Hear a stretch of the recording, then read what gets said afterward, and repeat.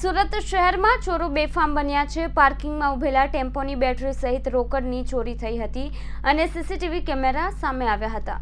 સુરત શહેરમાં ચોરી હારમાળા દિવસે દિવસે વધી રહી છે. કેટલાક ટપોરીઓ નશાની લત પર ચડ્યા છે અને લત પૂરી કરવા ચોરીના રવાડે ચડ્યા હોવાના બનાવ અવારનવાર સામે આવતા હોય છે. તે ફરી એકવાર બેટરી ચોરીની ઘટના બની છે. પાર્કિંગમાં ઉભેલા ટેમ્પોની બેટરી સહિત રોકડની ચોરીની ઘટના પ્રકાશમાં આવી છે. ધોળા દિવસે બેટરી ચોરી કરતા શખ્સ જોવા મળી રહ્યા છે.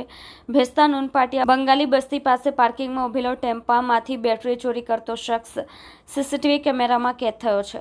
આ અંગે ફરિયાદીએ સમગ્ર મામલે સીસીટીવી સાથે અરજી કરી ભેસ્તાન પોલીસ મથકે આપી હતી. કેમેરામેન હકીમ શેખ સાથે વસીમ હાસમીનો રિપોર્ટ, આઝાદ ન્યૂઝ સુરત.